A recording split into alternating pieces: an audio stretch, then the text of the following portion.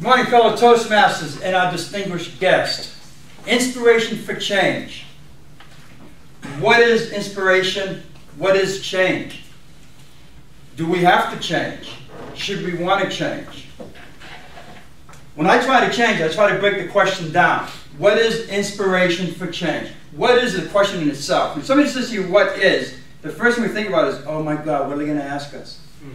Hmm. And they say, well, what is change? Now I got to break that down. What has changed? Change what? Do I have to change my attitude? Do I have to change the way I look at my job? What do I have to change? So I get scared when I hear someone say change. Well, at least I used to get scared. When I was a kid, every time I had to change something, I'd be so scared I would just sometimes hide because I didn't want to see change. Because every time I saw change, it was kind of like a negative way in my neighborhood. So it would scare me. As I got a little bit older, I realized that change is actually good for us. So I stopped being afraid, but I never stopped feeling uncomfortable about change. From now until the day I die, I will feel uncomfortable about change. In fact, the day I die, I'll probably feel uncomfortable. I didn't realize how much I, I was uncomfortable with change until I started realizing, looking back at my childhood, I would say to people, well, why do I need to change that defensive mode? Well, as Popeye would say, I am what I am. I'm not going to change for anybody. That's who I am. Then I became a parent. And I have two daughters. My daughters are, well, let's say they're not teenagers anymore.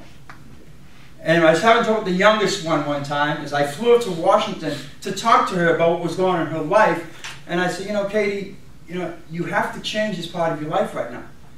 And she looked at me, and I saw in her eyes me. Well, why should I want to change? I don't have to change. It's, it's who I am. I said, oh my God, my daughter's me.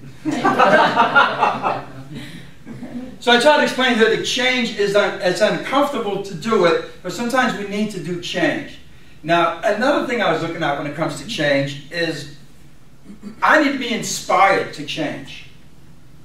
Or I need to think of a reason to change. Anybody in here who does real estate or any other business in sales, we have a favorite question. Well, what's in it for me?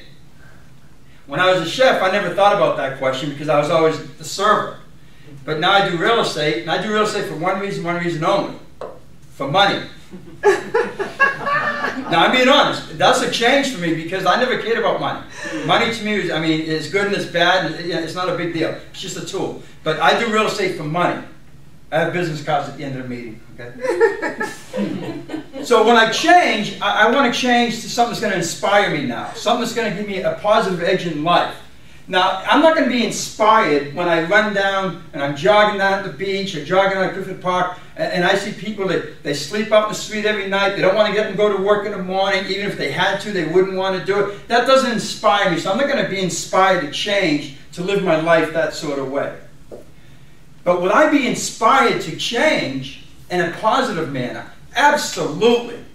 Because my speech here today is not so much about how I change but it's hopefully to get you think about why you may want to change after this meeting to another level of why we come here. Because today is all about Toastmasters. It's not about my daughter turning into me, although she's kind of cool, right? it's not about you changing into somebody you don't want to be. It's about why do you come to Toastmasters? I love it when somebody walks through this door and they're so quiet you can't hear a peep out of them. And then they give their 10th speech and they can't keep quiet. Francisco, thank you. that is growth. That inspires me. Not that I can do 22 speeches, not that I can do 50 speeches, not that I can someday catch up to Dennis with 1,465 speeches.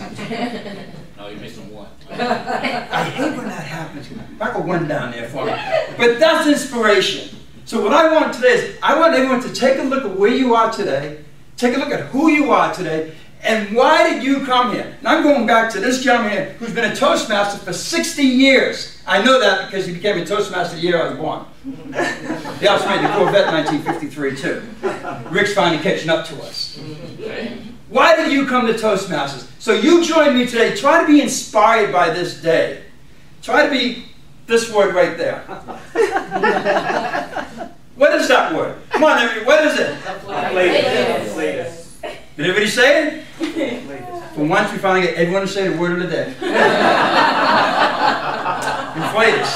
That's why we're here today. I want you to join me in being inspired and remember why you came through that door. Why do you give speeches. Why do you want to do an evaluation? Heather said to me today, I have to do more evaluations because I got to get better at it. And I said, I got to learn to do more speeches and, and learn how to do a speech from what I write, not from what I say when I get up here. Mm. Because there's a difference night and day. Sometimes I write a speech and I say almost every word the way I wrote it.